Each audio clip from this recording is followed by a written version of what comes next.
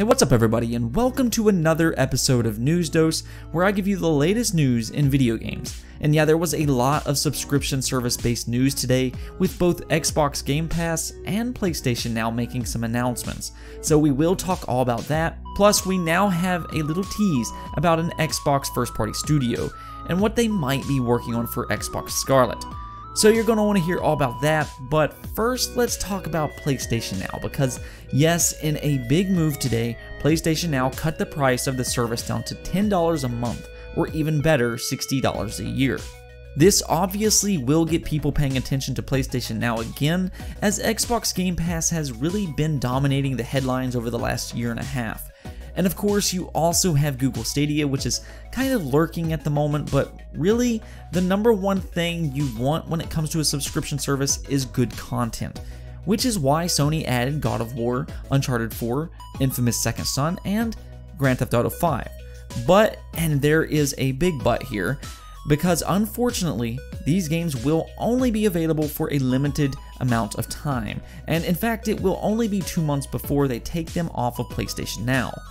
And this is where I really have to question Sony because it just kind of seems that Sony has one foot in and one foot out of PlayStation Now.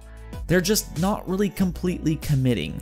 While yes, the price reduction is certainly a big deal and makes the service much more enticing, I still believe the biggest issue is not price, as PlayStation Now was already available for $100 a year previously, which is actually $20 cheaper than Xbox Game Pass and we know that PlayStation Now wasn't really selling that great with only 700,000 subscriptions after being on the market for 5 years.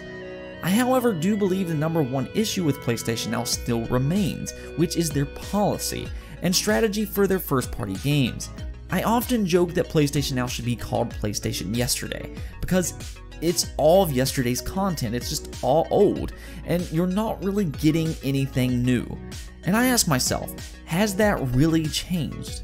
Well, no, it hasn't changed. So when I look at Xbox Game Pass, and the reason it's so enticing, it's because they're releasing all of their first party games on Xbox Game Pass day one, such as Gears 5, Forza Horizon 4, and Sea of Thieves. Plus, on top of that, you get several third party games on Game Pass day one, such as Ashen and Outer Wilds, which is not to be confused with Outer Worlds, which will also be on Game Pass day one. So, in other words, I'm literally saving money because I get all these games day one instead of going out and have to buy them. And, and then all of the rest of the library is kind of like extras that I may not have tried if it wasn't for Xbox Game Pass, but I definitely play them now. So it's those day one games that attracts me, but I stay for all the rest, if that makes any sense. And Xbox first party games aren't going to disappear from the service. Gears 5 will always be on Xbox Game Pass, while God of War is being removed after only two months, and I don't really get that. With Sony's strategy, you don't get that new content. And okay, I get it. Some of Sony's first party games have been highly successful, much more successful than Xbox this generation. I mean, God of War, Uncharted, and Spider Man are all games that have sold 10 million copies. So that is often the argument as to why they wouldn't want those games on PlayStation Now day one. And okay, I get that. But let's not act like everything Sony releases turns out to be a huge success. This generation alone, Sony's closed two different studios and sold off another one. They have released games such as Knack, and that wasn't a huge success, and then games like Little Big Planet and Gravity Rush 2 aren't nearly as successful as Sony's 10 million sellers such as Spider Man. So, yes, I do think releasing games like the upcoming Media Molecule game Dreams and Concrete Genie day one on PlayStation Now, I think that would be pretty nice. I don't think these type of games are going to be nearly as successful as some of their big AAA games such as God of War, so why not release them on PlayStation Now day one? Regardless though, I just don't think Sony has fixed the main issue with PlayStation Now. Now maybe if they bring new Sony games to the service quickly, and it doesn't even have to be day one necessarily, but just, you know, bring them to the service, you know, on a, on a regular basis pretty quickly, then I might change my mind on that. I mean, the price is certainly outstanding right now at $60 a year.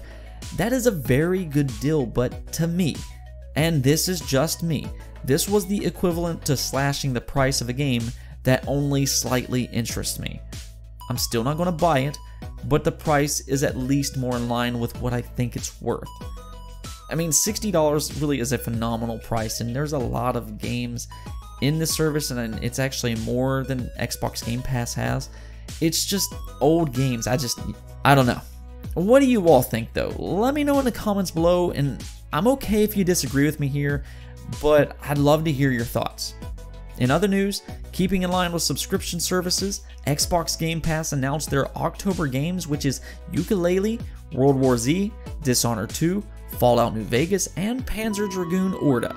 You also will get two day one launch games with the highly anticipated Outer Worlds and Felix the Reaper. So, yes, this is another big month for Xbox Game Pass, and I'm especially looking forward to playing Outer Worlds. That game just looks excellent, and especially if you like Western RPGs. And one other thing about Game Pass is if you haven't already got Xbox Game Pass Ultimate yet, it now includes a 6 month Spotify Premium Pass. Now, this is only for members who haven't joined yet, so if you already have it, then you're out of luck here. Up next, we got a tidbit of information on Ninja Theory's next game. Of course, they are working on Bleeding Edge, but I know a lot of people really seem to be interested in what their other team is working on, especially the team that made Hellblade, which to this day I think is one of the best single player games of this generation. Well, if you're hoping that Ninja Theory would scale up and make another AAA title, well, based off the job listing they posted, that is exactly what they're doing. It says Ninja Theory is looking for an exceptional character artist with individual artistic flair, high end technical ability, and good problem solving skills. The ideal candidate should be excited at the prospect of working within a small, focused team delivering AAA titles.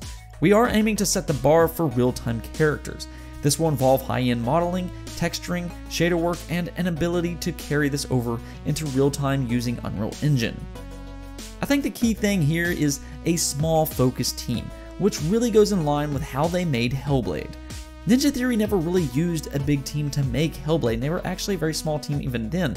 And it seems that is their goal yet again with their next title to keep it small but have a large scope. Either way, based off the reaction to Bleeding Edge, which is a little different than Ninja Theory's last few games, I think this is really good news and hopefully we won't have to wait too long to figure out exactly what they're working on. I know I'm really excited to see what they're working on because, well, they got a fan out of me after playing Hellblade, that's for sure. That game is just. I love that game. Anyways, that's it for this episode, but let me know what you think in the comments below, and don't forget to hit that subscribe and bell notification button. Peace out.